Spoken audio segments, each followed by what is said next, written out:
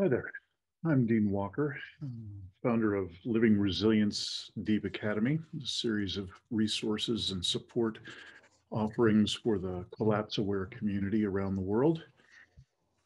And this particular um, video excerpt is from a conference from the Embodiment podcast and uh, the Embodiment Conference, which is now uh, has been done for the past couple of years I think it's a really great, um, great piece of work. man from uh, the UK, uh, whom you'll see for a minute or so, as he does a bit of a commercial for one of his content providers of this uh, embodiment work of uh, a particular kind. And, you know, really all the providers in the conference uh, have something to do with personal growth of some kind or another. And um, this particular presenter that is not in the commercial, the commercial is toward the beginning, they, before the uh, person who's speaking in this video gets going. Uh, the person in the commercial, I think, is doing great work. I've checked out their stuff. I can't wait to participate. I think it's, uh, you know, there's a remarkable amount of strong, very strong uh, offerings coming from the embodiment conference every year. So you'll see that. And the person who's uh, doing this particular hour long presentation after the commercial, if you will, excuse me, is a, a man named Clinton uh, Callahan. Clinton has uh, created a body of work since the mid 70s called Possibility Management. And uh, it's a loosely knit uh, group of trainers around the world, people who have just decided, yeah, they really like this work. And so they uh, have taken it to their own countries, Australia, a lot of them in the States, mostly in Europe. And um, I'm including this particular video because I include uh, an emphasis on particular aspects of possibility management in Clinton's work and, and the other trainers because I, th I, think it's extraordinarily valuable for people in the collapse aware community who are trying to find their center, who are trying to find a sense of being able to return to a sense of uh, authentic um, ownership of who they are, a sense of being grounded and inhabiting their body and inhabiting their identity, uh, inhabiting the mystery that life actually is when they crack open and decide, you know, I don't want to be a part of this business as usual culture anymore, but how the heck do you create something new? You know, there's just this uh, magical thinking is about all we've got in this fossil fuel driven business as usual culture. And there really is no way to crack outside of that business as usual structure to really see new possibility. Um, you'll you'll hear him you'll hear Clinton describe his own engagement with that and then and the engagement of the work with that. I just want to mention a couple of quotes that I'm sure you've heard. Uh, I'm hoping I'll say them right. Uh, one's from Charles Eisenstein, where he suggests that we uh, all can imagine the um, the more beautiful world our hearts know is possible. And uh, while I definitely have heard him say that a lot, I've heard him put it into context a lot. Um, what I hear an awful lot of the time is kind of a magical thinking, you know, when it comes down to so, how do you get from this encasement in the business as usual mindset, which we're all saturated in from birth? How do you crack out of that into something truly new? So that's one of the quotes. And one of the, re- you can, if you could just carry that with you as you listen to what Clinton has to say in his talk. And then uh, there's another one, which is um, attributed to, uh, uh, to Einstein.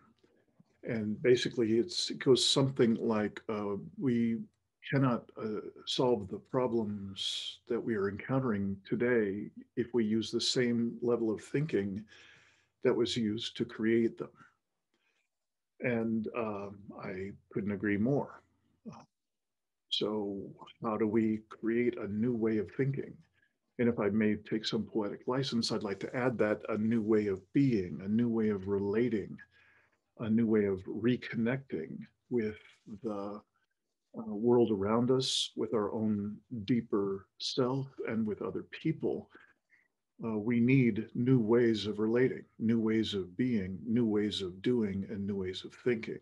And what I'd like to just say a little bit about before I get you going on this video is two things. One, one is I'm a little shy about just letting it just go straight into the conversation because I know that uh, Clinton has the tendency to just make up words in order to serve his purposes because, and I can agree with this completely, there is almost no language for what we're encountering, what we're facing in these times of collapse and predicament. We, uh, we literally don't have a language for how to be, in, be present in this situation. And by the way, that you know, it takes me to the really the core reason why I've, I've put together this body of work, which is to expand our capacity to be present in the face of larger and larger stressors in life. It's as simple as that, and and it's really quite a uh, now quite a deep body of work, and quite a simple motivation is to have us have the opportunity to expand our capacity to be present in the face of larger and larger stressors. And so um, the last thing I would say is, well, let, let me finish the, the comment that I was making about Clinton and the words he makes up. Um, you know, it's some of them are just a little bit foreign to me, and I've never really gotten comfortable with them. It's okay. You know, that's it's not like some uh, language you must adopt in order to hear the rest of his talk. I think there's an awful lot of his talk that is really worth hearing. You start to get some of the cornerstones of their work, um, and, they're they're seeing um, a, as great a need as as I particularly see, I see in my body of work, is that one of the biggest costs of the business as usual paradigm is that we've either forfeited or have had taken from us our center. And it's um, that's a huge cost. With it's just uh, extraordinary to start to articulate, to list, to inventory the costs of having forfeited our center. Um, that's for another day. You'll be able to hear some of his inventorying of it in this talk we'll go over that at length. And this is a big part of the community of practice that we have as an ongoing support group in this kind of work. Because uh, it, it turns out to be of immense value to start to take on practices of reconnection. If what got us into this global predicament is our disconnection from deeper self, from other people, from earth, and even from soul, then, and we're in a predicament, on top of it, um, what's a person supposed to do to be able to be functional in this world? And the only way I was been able to answer that uh, for myself in the writing the book, The Impossible Conversation, and creating all this work is that we each need to find our own emphasis in terms of practices of reconnecting with deeper self, other people, earth, and soul. So that's why I, am offering this video, this presentation from Clinton Callahan and Possibility Management is I think they do a tremendous job of helping us to reconnect with a couple of, particularly a couple of cornerstone aspects of center. Imagine it's like a multifaceted center, a number of different facets to it they really have some strength in a couple of those facets. So I think it's really worthwhile if you can put up with a little bit of interesting jargon. Um, my sense is it will be very valuable valuable for you, and um, I promise to be putting out some more videos soon about how to really put this stuff into action and make it just a little bit more clear and consistent in terms of language used and all that.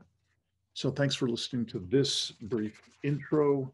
I hope you enjoy Clinton Callahan's presentation about uh, the multiple facets of reclaiming our center. And I uh, look forward to seeing you in the next uh, the next video, next round. It's at 12 o'clock in the UK time. Welcome to Embodiment Conference 2020. I would like to introduce Clinton Callahan. We will have session about presence and possibility, which is like inner maps for unleashing new dimensions of ecstatic potential. Before we start, we're going to put one minute video of main sponsor of the channel coaching and therapy.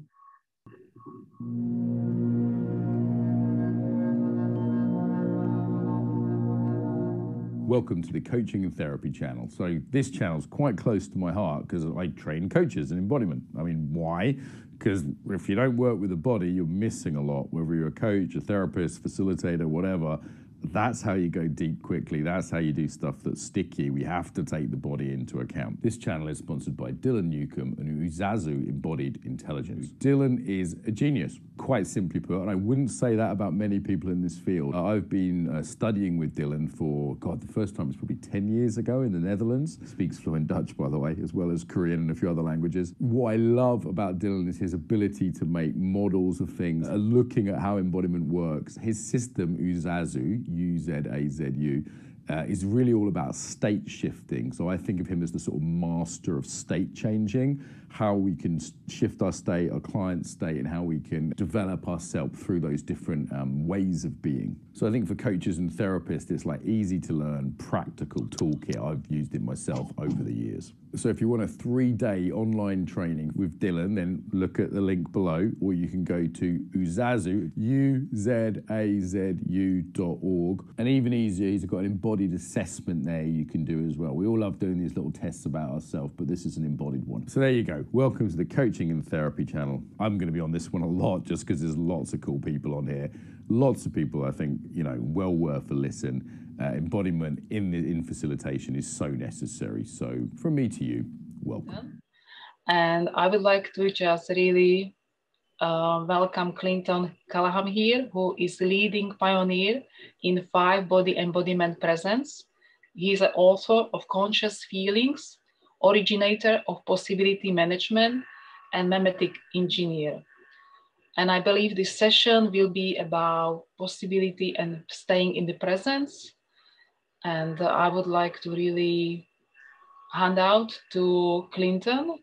He will lead you through this presence and possibility. Welcome, Clinton. Thank you, Monica.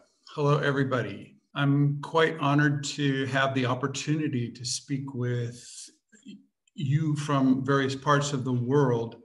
And I, I'm going to make an assumption in who you are, even though we mostly don't know each other. I assume that you're mostly interested in this channel and this information because somehow you are delivering coaching and facilitation and possibly even transformation in the work that you do with people in the world.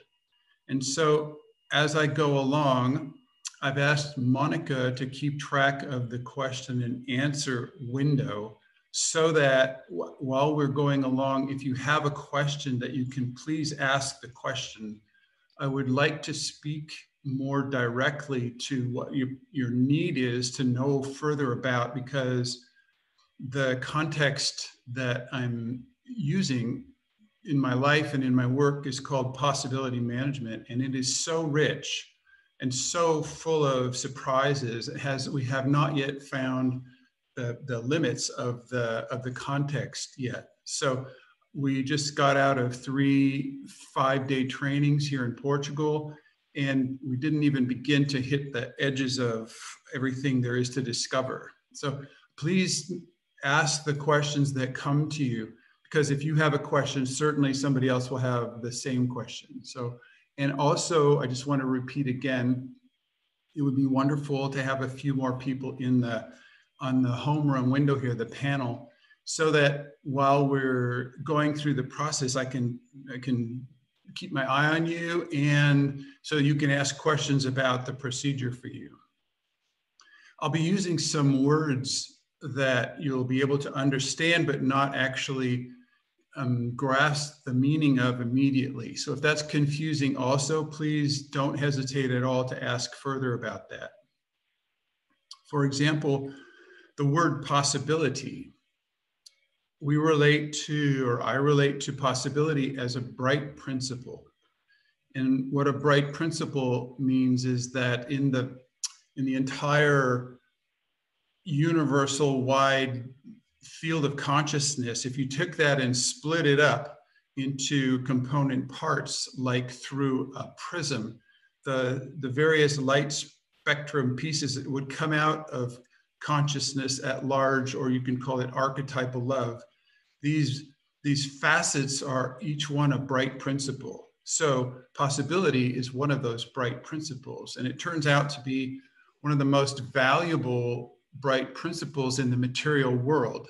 The reason being that the we use objects a lot in in our life. So, for example, I have here just a, a little watch that I hang on my on my belt, and the thing is made of metal and it has a little clock and it goes around and it keeps accurate time. But the thing is, the reason I, I, I value this is the possibility that it gives me. And it gives me the possibility of taking responsibility for for time. It tells and that's it isn't the thing itself that i'm i'm valuing here. It's what it does for me the possibility that it gives me. So i'm, I'm wearing a white shirt. So why am i you know it's not that this is not such a cool shirt. It's not so incredible. What's incredible is that keeps me warm look makes me look professional. It has these possibilities that it provides to me so as we go through our, our day and night through our lives, both personal and professional, we, we encounter situations in which uh, the situation is limited by the number of possibilities that we have. So, what if we don't have a possibility? We cannot choose it. You can't choose a possibility that you don't have access to and so somebody such as myself and probably you also i call you a possibilitator. That's somebody who can manage possibility. And what you're doing is when there's not enough possibilities available in the space you can create more more options to choose from for yourself for your client for your team for your project. So even in your relationship sometimes more often lately than you might think, we have too many options to choose from, too much possibility. And in this case, you have a different job as a possibilitator, and that job is to kill possibility. Now, this is a sad thing to do because if you make a choice for a certain possibility, you're simultaneously you're making a choice against other possibilities. And in that moment, you bring up another, another consideration, which is your feelings and emotions. Because to let go of a possibility involves grieving the loss of the possibility. Therefore, if it's not okay for you to be sad because you think sad is one of the bad feelings or negative feelings, then you will hesitate to choose and commit to a possibility because you're choosing against all these other possibilities. It's like cleaning out your garage. You know, you're going through the things that you have or in your attic and some and, and you have to make this decision. Do I keep this or do I get rid of this? And if you decide to get rid of a thing, then you will need to grieve its the loss of it in your life. So, and if it's not okay for you to be sad, then you'll accumulate a lot of extra stuff in your attic, in your closets, and your garage. So there's some really clear signs of when it's not okay for you to feel sad. So all of a sudden we've entered, we've, we've started off with trying to be able to create and manage and destroy possibility as, as a profession, as a service to humanity, a service to your village.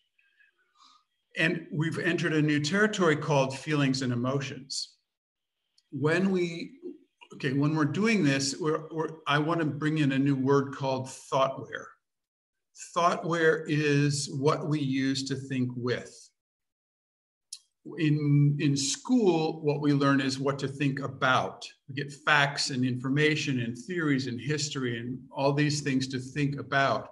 But before you went to school, you had to already be able to think. So, or they would not let you in school. So, so you're thinking with thoughtware. What you think with is not addressed at school at all. We don't have a class in what you think with. We have classes in what to think about. So then where did you get your thoughtware? You got it like everybody else from your parents. And they went to school probably. And where did they get their thoughtware? Well, it was before school. So your parents got their thoughtware from their parents. And so this thoughtware that we're using to think with has been handed down from generation to generation for thousands of years you are using very old thoughtware. So if you think about how often you upgrade the program in your phone, for example, well, it could be once a week, could be at least once a month they're upgrading the program in your phone. How often do you upgrade the thoughtware in your mind? Well, not yet, not very often yet. The thing is, when you upgrade your thoughtware in your mind, the structure, the construct within which you have been thinking has to take a new shape. Or if it doesn't take a new shape, you keep thinking the same way. So when you add a distinction, when you add a piece of thoughtware, you, you, it comes in and reorders the construct within which you relate to the world. And that thing is called a liquid state, the, the, state between this design and this design. In between is a, a liquid state where things are moving around inside of you. This is a strange feeling. I mean, your phone goes through it once a week and it reboots. We're talking about rebooting you when you add in new thoughtware. And today I'd, I'd, like to give you a chance to have that experience while we're, we're going to move into a clarified environment where you'll be able to have that experience if you want to.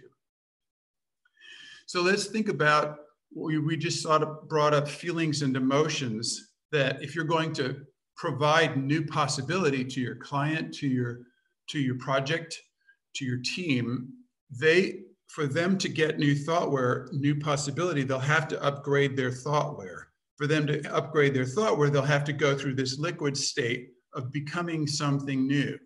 So that's the difference between a class and a workshop. If you go to a class, you get ideas and information about stuff that's already known. And, and in a training, we call it a training, you, you go through a process where you upgrade your thoughtware and, uh, and are more able to encounter the unknown.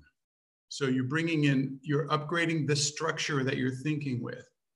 So if you're to do this with feelings, for example, the old thoughtware about feelings is that there are three bad or negative feelings and one good feeling. So typically the three bad or negative feelings are anger, sadness, and fear, especially fear. And the only good feeling would be joy.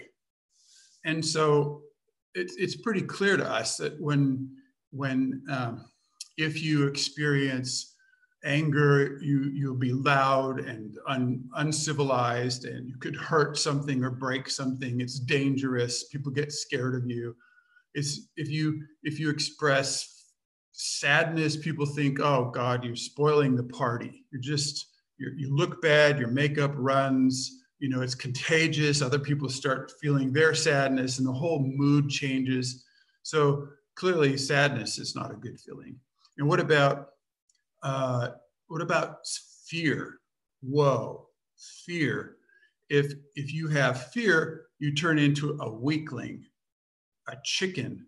Uh, um, uh, uh it's childish, it's unrealistic, it's it gives you um, you lose your credibility. A leader should feel no fear. An Indian feels no fear. So these these these pieces of thoughtware about how we relate to our own experience of feelings and emotions is determined by our thoughtware And if we're using the old thoughtware, like we said, it's not okay to encounter new possibility or to upgrade your thoughtware. So the, the thing is that the thoughtware that we are using today in modern culture around the world is exterminating life on planet Earth at the fastest possible rate. It is not a pleasant thing to think about, but it is the thoughtware that's leading to the destruction of species at 200 a day and the increasing fires and the heat and the um, on and on and on. We know, we all know about that stuff. So, so then, okay, we're faced with on a, on a global level the necessity of upgrading our thoughtware. And if you look at the tax form for the list of job descriptions, the kind of jobs you can have, you will not find thoughtware upgrader as one of the one of the tax form line items. They don't ha- they don't have a name for this. Modern culture does not have a name for your profession. So already you're an edge worker. Already you're out beyond the edges of modern culture thoughtware just to represent yourself to a potential client. You you actually need to so okay, so what about joy though? What about joy? So, what happens if you walk down the street ecstatic when you're floating and flying and, and you're radiant, you're just shining? What happens? People think you don't have enough work to do. People think you haven't read the newspaper. People think they can't they can't take you seriously because what you probably you're on drugs or something.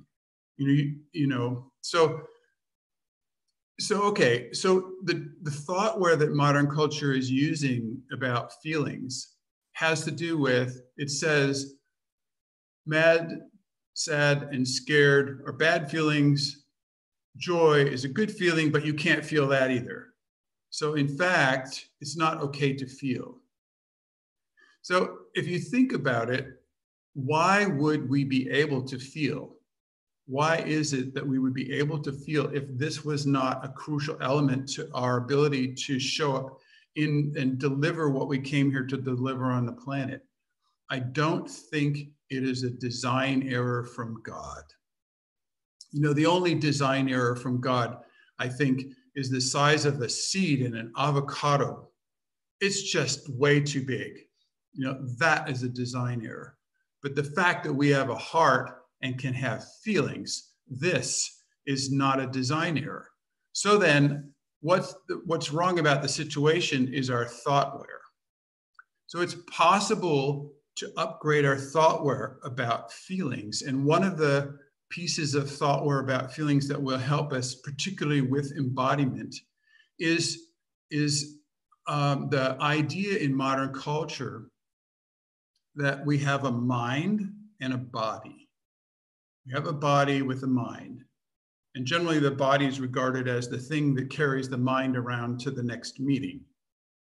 So, so to inhabit, to inhabit our full potential, in possibility management, we've been doing research since 1975, and we've discovered uh, that in fact human beings have five bodies.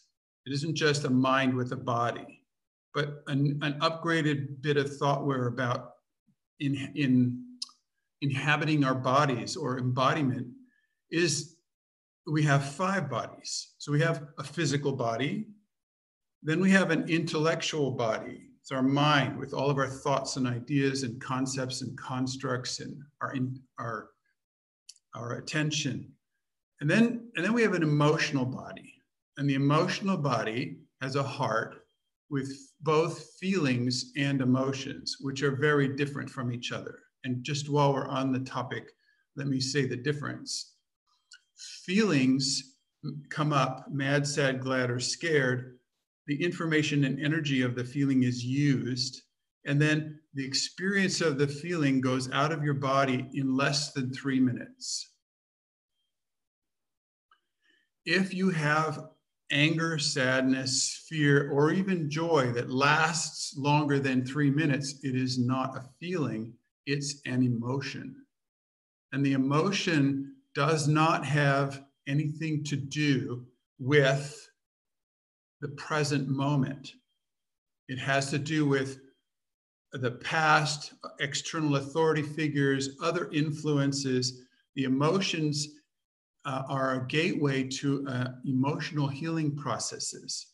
So, so you have feelings that come up, get used, and go away in less than three minutes. You have emotions that come up and stick around for an hour or a day or a week, or maybe there's quite a few people these days who have a 30% intense background fear, anxiety, or or so so the feeling never goes back to zero. So this is an emotion obviously. It's an emotion. So it's very helpful this distinction but it's new thoughtware. It is not included in modern culture thoughtware.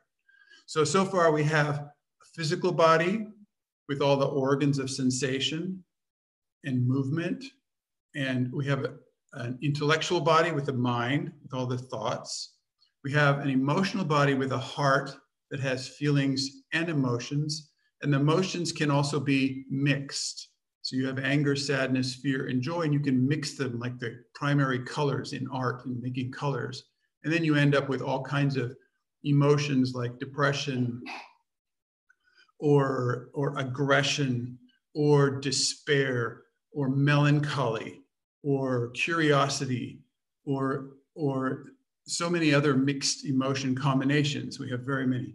So the fourth body is your energetic body. And your energetic body is mapped close onto your physical body and it tells you it tells you what's going on in space. So if you're sitting for example at a cafe and somebody moves their cup too close to your plate, you can feel that it's off Okay, the way that you sense that is with your energetic body. Energetic body is sensing so much all day long. Is this too fast, too slow, too loud, too close, too, too distant? All, all these things are sensed with your energetic body. Is this appropriate timing? Is it, is it um, correct? Is it, will it serve the space? How's the space doing? This is all energetic stuff. And then you have an archetypal body. This is a fifth body.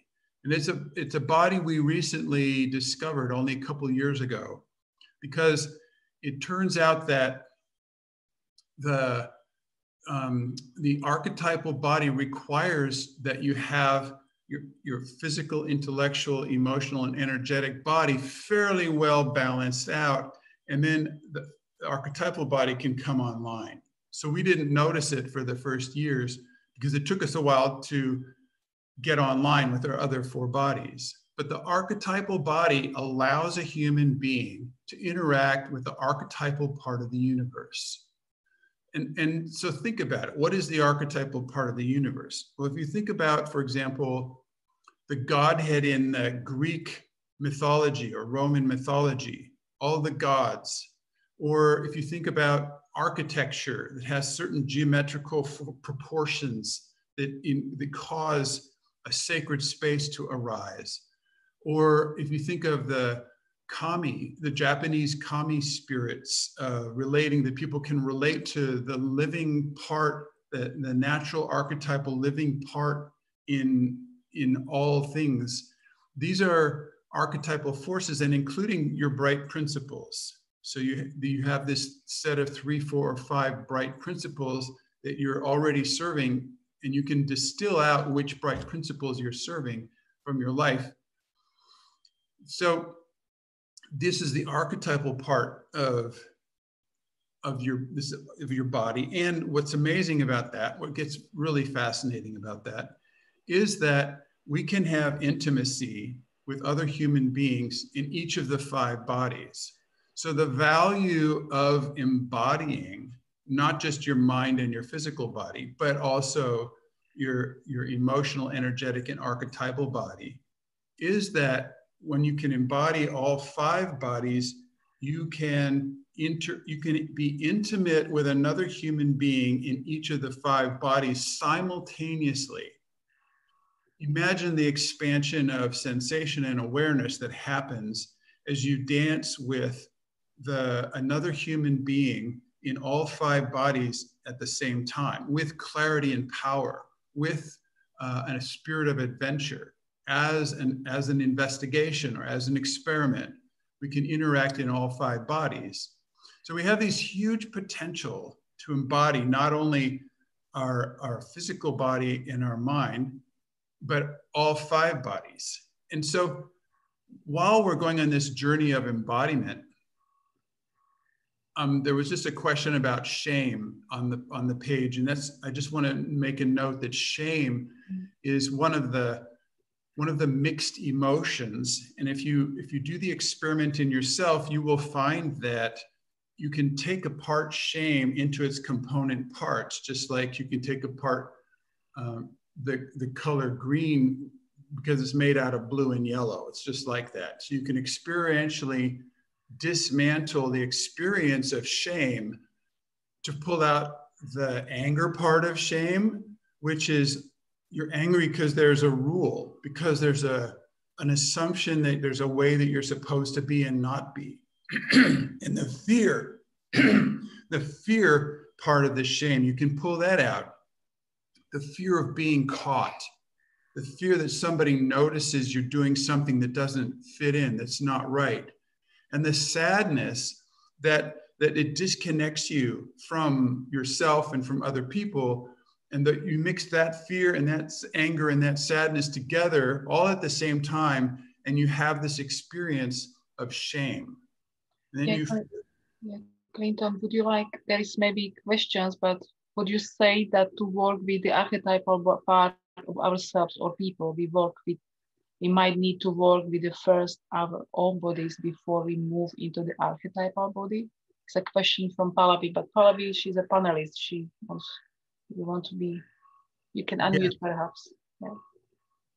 Yes, definitely, definitely. In fact, in fact, when you're working with people, it's a, it's a big enough shock to simply introduce the emotional and energetic body to, to their world because it's just such a, there's enough to learn. It takes a while to learn how to distinguish and navigate the energetic and emotional body.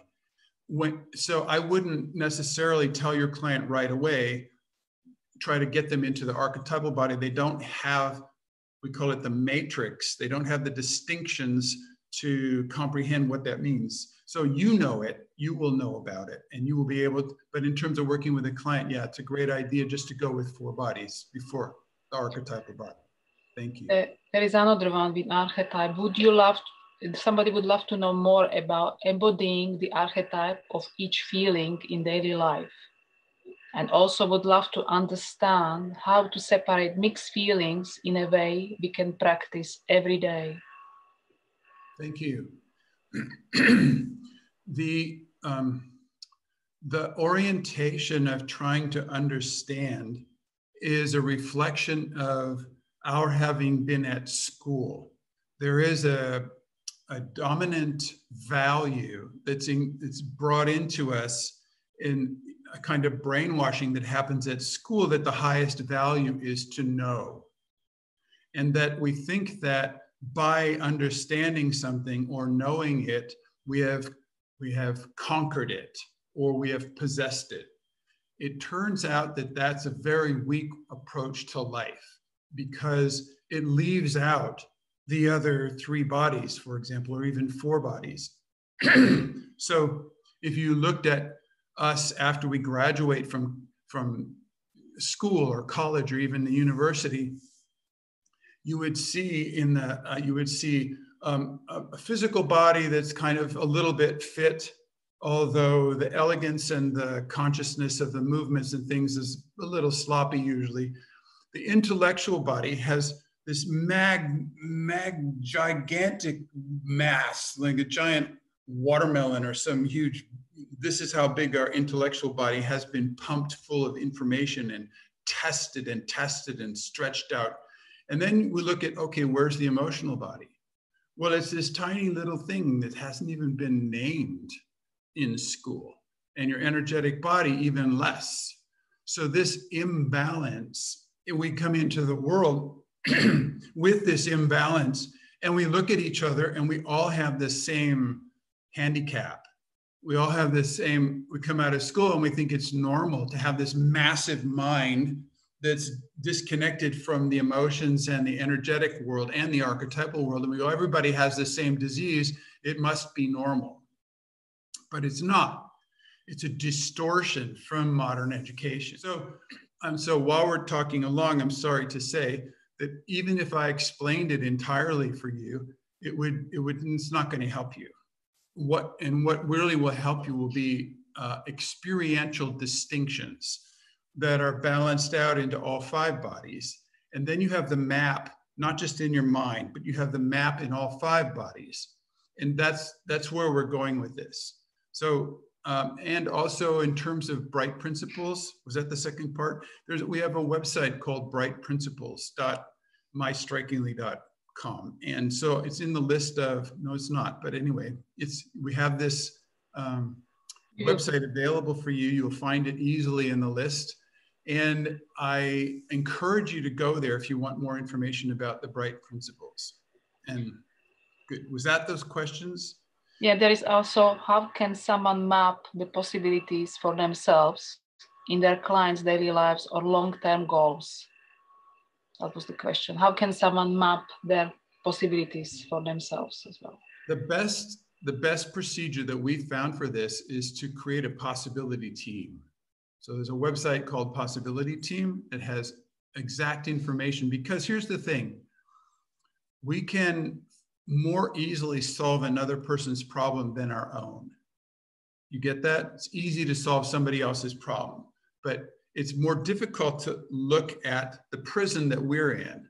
It's difficult for us to see our own assumptions, our conclusions, our stories, and because we've been living inside of this construct, which in possibility management, we call the box. It has other names like ego or worldview or psychology or identity, comfort zone. It has uh, a lot of these other names. We just call it the box. So your being is living inside your box, and it's very easy for other people to see your box. See, the thing that stands between us and our potential is the box. So it's made up of, like I was mentioning, assumptions, interpretations, stories, memories, conclusions, decisions. It's built out of this, um, all these internal uh, components of a structure that we live inside, which at the beginning, up until we're 18 years old, is a, a filter it's a it's an interface between our being and the and the world. So for the first 18 years of our life, we need that construct in the same way that a, a little baby chick needs uh, a shell or a butterfly needs its chrysalis to survive until it's ready to hatch out, which for a human being is about 18 years old. We're ready to meet our authentic adulthood initiatory processes. And this would bring us into an ability to embody our in five bodies, the procedure, and it would let us change our relationship to that box so that it doesn't imprison us, it actually serves us. It becomes a set of tools that we use to interact with other people in the world.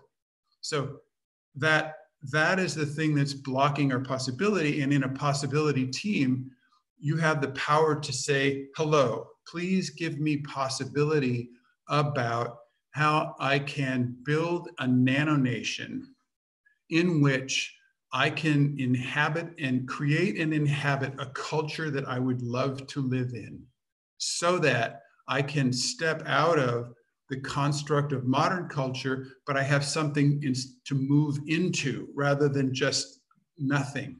It's rather than just being a bum on the street. So please give me possibility about what it would take for me to build uh, a nano nation for, for my culture to thrive in. For example, okay. go ahead. No, somebody was asking about the bright principles. because was uh, somebody misheard. What was the bright principles? Something. Yeah, if they start at the tape at the beginning, they'll see we talked about bright principles already. There's a and there's a website called brightprinciples.mystrikingly.com. And you can find it at spaceport.mystrikingly.com under the letter B, and it will find it for bright principles right there. And I highly recommend researching bright principles. I'm happy that you're interested in that.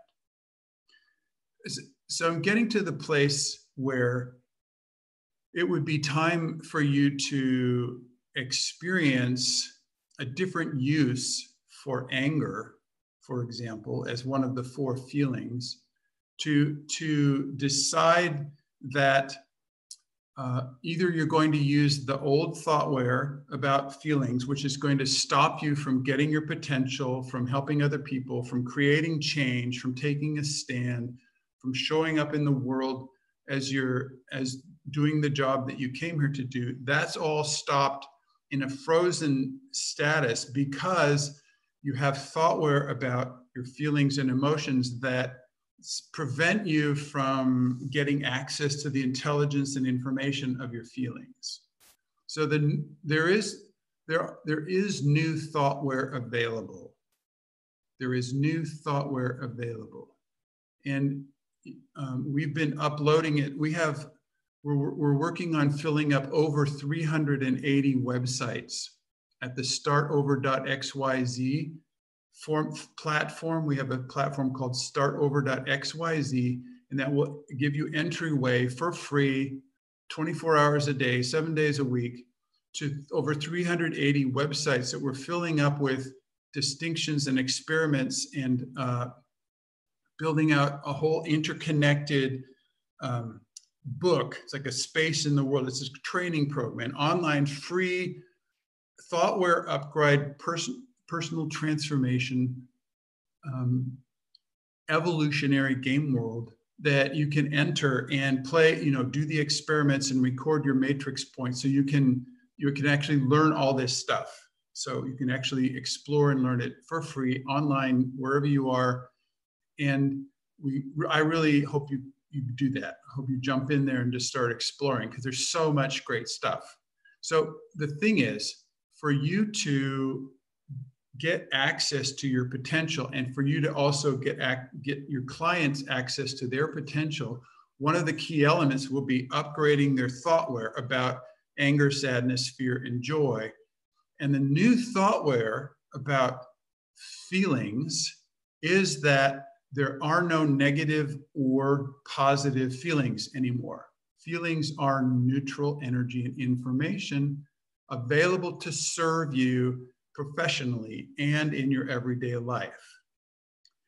Then also, you can access your feelings and emotions by lowering your numbness bar, because in modern culture, we have to have a numbness bar very high so that we're not overwhelmed by the intensity of advertisements and political stuff and just the noise that comes out of modern culture we, but we can lower the numbness bar and get access to the low intensity feelings because your feelings can be from 0% intense all the way up to 100% intense, which are, and the archetypal level of feeling is 100% intense. I'll just let you know in the last trainings, we, we made a safe space for men and women to go to archetypal levels of anger. We usually do that first and then what happens is is when you go to the high intense levels of anger it turns a switch on in your body that brings somebody was mentioning an, an archetypal structure in your body to life which of course is the warrior or warrioress the doer the maker. It's that archetype that gets turned on when you we call it stellating which means to turn into a star your archetypal level of anger. When you for no reason you know, if your numbness bar is high, then you can't feel anything until the impulse of the feeling gets up past your numbness bar. So you think you're numb, but you're actually 75% angry. Then you go to 85% angry, and you jump, this experience jumps from I'm numb to 85% archetypal anger and you explode.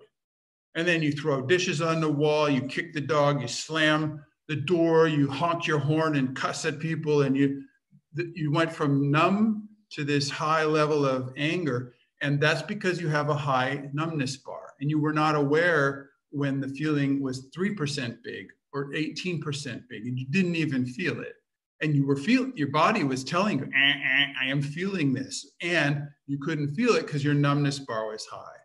So your first step is to start to lower your numbness bar. And then you start feeling anger, sadness, fear, and joy at lower intensity levels. And you can use the intelligence and energy of your four feelings anger, sadness, fear, and joy as neutral energy and information to navigate your daily life. So, this is the new thought map of feelings. So, when the, on the new thought map of feelings, you still have feelings and emotions. So, feelings are used for handling things, making decisions, taking action, starting things, stopping things, changing your relationship to things, negotiating things, making offers. This is what the feelings are for. The emotions, the ones that stick around longer, the ones that last a long time, those are for a, each emotion you have is a gateway to an emotional healing process, which probably if you're as a, working as a coach, you would love to be able to more clearly and effectively deliver emotional healing processes for your clients. We have a website on there just called process.mystrikingly.com, and it has very clear instructions for how to do this. It's so powerful to have the new ThoughtWare upgrade about feelings and emotions. Just those few distinctions that we've talked about already will change people's lives it will give them a whole new future. And, and not only that, but when you start learning to separate the emotions, somebody who suffered from depression, for example, I had low grade depression for 30 years of my life until I encountered this work, until I learned to be angry and separately sad, because depression is oftentimes just the experience of mixing anger and sadness together when you can separate that into I'm angry about this and I'm sad about this, there is no more depression. It is so amazing. So I'm not saying every kind of depression is healed this way, but a lot is, especially common ordinary depression is healed by separating the anger from the sadness. So bringing these distinctions to your clients experientially, not just in their mind, is is fantastic. So this is a fabulous upgrade in the services that you can provide to your clients. It's just starting to use some of these distinctions from possibility management. I just want to be clear that possibility management is really not about feelings work. But when we started delivering possibility management, we realized that until a person can move to the new thought map of feelings, they can't get present enough to create or destroy possibility. They can't they can't unleash their potential unless they can uh, experience embodiment in five bodies with clarity and power. And that and that thing is so amazing. Everything we do is copy left. I just want you to know that. Everything we do is copy left. Everything on every website, the books, there's two fantastic books out there from me right now. One is this Directing the Power of Conscious Feelings, and another one is called Building Love That Lasts. Both of these books are full of distinctions, full of experiments, full of empowerment for embodiment in five bodies. So those two books are available. You just go on Amazon and Google Clinton Callahan and you'll get the books right up there. So all of this stuff is copy left. That means steal it. That means take all of it, all of the exercises, all of the all of the practices, use them, write your own, deliver workshops with them, write your own books with them. This is the reason it's copy left is we figured out after some years that possibility management is thoughtware for next culture. It is, it's like how do how do human beings move into a regenerative culture. This, this cannot be done using the thoughtware from modern culture. Modern culture is a capitalist, patriarchal empire based on competition, scarcity, I win, you lose games, and it's killing the entire life on planet Earth. So, how do we move to a culture that's regenerative, that is collaborative, that has local authority? And so, one of the things we have to do is face into the fact that modern culture has full of superstitions. Modern culture is full. So, what is a superstition? So, when I think of the word superstition, I think of when a black cat crosses my path. If it's from the left to the right, I have this kind of luck. If it's from the right to the left, I have another kind of luck. If I if I walk under a ladder that's leaned up against a building and I walk under the ladder, if I break a mirror, I will have bad luck. If I spill the salt, I will. I have to throw some over my left shoulder to counteract the bad luck. Has anybody heard of these kind of superstitions? Yeah. Okay. Well, see, we now know those things are superstitions. However, before a superstition becomes a superstition, what is it? its reality. Before we recognize something as a superstition, we think it's real. We think it really is like that.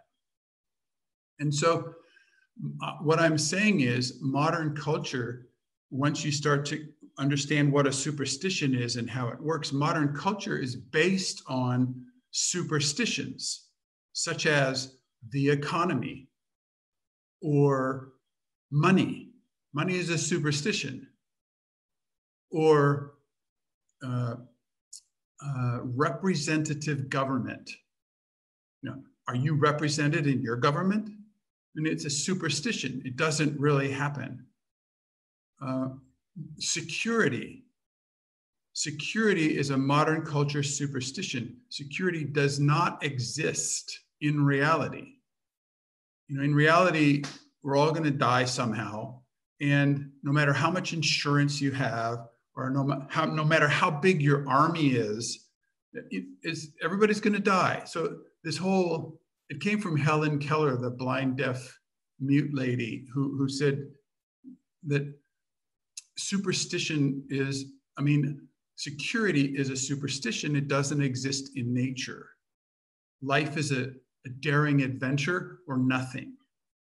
And so that was what she said about it. But the, it's a superstition to try to make things safe and to try to you know empower the government to keep you safe from itself whatever. So yeah so okay. So there's these huge superstitions that are at work that people like for example even owning land it's such a superstition. How is it possible? Or corporate personhood. It's it's impossible. This is that a, that a corporation can take responsibility is so far away from reality yet it's a law in the land. So this this law the, the rule of law of western civilization is exterminating life on earth. Anybody who follows that law is criminally insane. And anybody who enforces the law of western civilization has already forfeited their life because they're fighting for the extinction of life on the planet.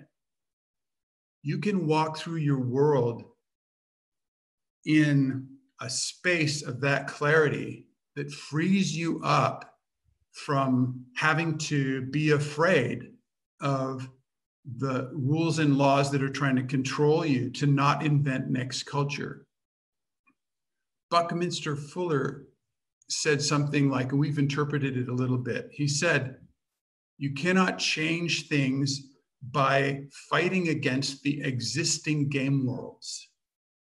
You can change things by building new game worlds that make the existing game worlds irrelevant. The, the new game worlds are far more fun They're far more exciting.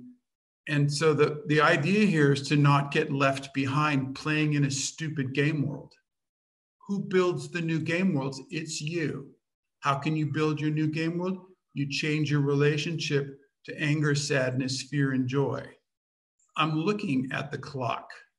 The clock says we have three minutes, eight minutes. How much time do we have left? Just hold up your Monica. How much time? Eight minutes. It's still okay. With questions. Eight minutes with questions. It's still. All right. Let's do some questions. There is still some like uh, there was some question. Uh, somebody was asking: Are the five bodies analogs to the five koshas in yoga? I don't know. I don't know as well. Okay. Wait, wait just wait a second. when we think about embodiment, we can use the modern culture embodiment, which is you have a mind and you have a body. So you go to the physical fitness center and you eat good food and you're embodied. Okay. And then you then you think a lot the rest of the time. So this is the training from modern culture. Or you could go to Eastern religious philosophies like yoga, meditation, these these kinds of things. And that's another set of thoughtware about uh, how to embody yourself. So you do your yoga, you do your vegetarianism, you do your um, meditation practices. Yeah, or you can try to embody yourself by singing and dancing and movement with contact improvisational movements and dance. And you can try to embody yourself that way, or tantric sex practices, you can try to embody yourself that way. Okay. Or you can upgrade your thoughtware. And all of a sudden, when you upgrade your thoughtware you have five bodies instead of two, or, or sometimes in the Eastern tradition, they have a third body, the spiritual body. Okay. So, so, but if you if you start upgrading your thought and use five bodies, there's far more possibilities for embodiment, and there's so much clarity to support this. I just wanted to point that out. So you have different approaches for how to how to approach embodiment. This is just a, a different way, but it includes five bodies. Monica, there's another question. Yeah, when speaking about different layers of thoughts, feelings, are you also referring to different aura layers? The, the aura layers we found is mostly a reflection of the energetic body. So it's just an, some people can resonate or see the energetic body. I think every one of us sees the energetic body in different ways. So some people interpret it as color and has certain meaning but i don't we don't go in that direction because it's not it hasn't been so useful for us to try to you know again then you understand something but you can't really use it. You can't use it for as a distinctions. So let me tell you we're not going to have time to do the experience that i wanted you to have. I was going to give you three minutes to get a towel and start going like this and start to feel anger on the new map of feelings. And you, you would do it for three minutes and you just start yelling and screaming and shouting out your voice. Ah! And you just start doing this for three minutes. Then you come to a stop. See, it would say, please come to a stop. and then and then we we come back to center and then the next time I would say, we're going to do it for three more minutes, only this time use words and say what you are angry about. So then you go like this for three minutes and you say words like, I hate it that the fish are dying in the ocean. I hate it. There's so much plastic around. Nobody's taking care of it. I hate it. The kids have to go to school and it gets programmed with shit from the last culture that isn't working anymore. Like this. You do that for three minutes. And then you write down what you said. And what we found out is, is what you're angry about is what you care about. What you're angry about that doesn't exist in the world today, the thing that you're angry about that doesn't exist in the world today is what you came here to build. It isn't about being a victim that it's not here. Oh my, you know, I don't like it that it's not here. Go to the next level. You're angry that it's not here. It's your job to build it. And that's why we're so excited about game worlds. We have plenty of information about building a game world We have plenty of information about building a nano nation. We have plenty of information about you, how to create and move into the culture that you would love to embody. Right now, we're kind of forced to embody a modern culture that's killing life on planet Earth. It doesn't have to be that way. You people here are leaders, you're edge workers, you're the ones who have the ability, the knack, the skill to build a new culture for other people to move into. And if you build it, they can move into it. And if you don't build it, nobody can move into it.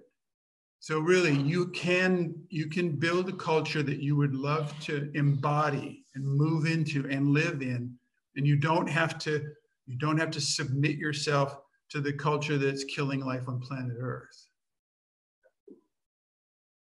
Yeah, I feel quite sad we haven't done the exercise. yeah, with nothing stopping you now. All you need is a towel and three minutes. And yeah. Complete instructions. So the second time you do it, you write down what you say and you show it to your friends at your possibility team and, and say, I'm angry about this and this and this. What does that mean? What am I here to build? And they will help you. You know, you can help each other build, uh, distinguish, distill down, and find out exactly what your project is. And if you, if you, you know, you can quit your corporate job. You do not need to be a slave in a corporation. You can, you can serve people in a way doing this stuff where you have plenty of money and you don't need to submit yourself to a slavery in a corporate job. Please do this. Please, you have the resources inside you. You upgrade your thoughtware, get your anger, you got your clarity, go. So yeah. Yeah. There could be suggestion if people wants to try this, perhaps can go after this session to the coffee break and do together there. But I would say maybe last question, any tips of on identifying our current software system or it's just a case of doing exercises for each of the bodies? That is a question. Yeah, it's that's what it is. We have a website called rageclub.org, which is where uh, people online all over the world are offering online rage clubs. There's something like four weeks or eight weeks, one time a week. And you go in there and people change so much in those rage clubs.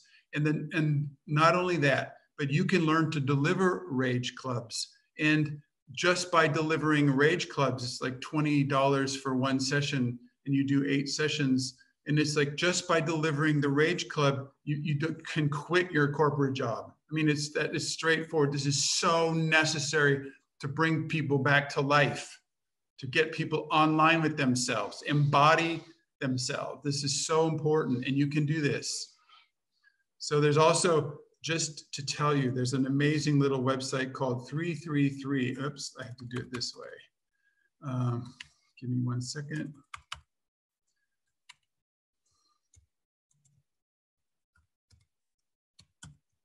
This is this website gives you clear instructions to do this exercise with the towel at home, three minutes, three times a week for three months your whole nervous system will change. You'll get back access to the archetypal anger that has the clarity and that can make the distinctions and has the energy for building the culture you would love to live in.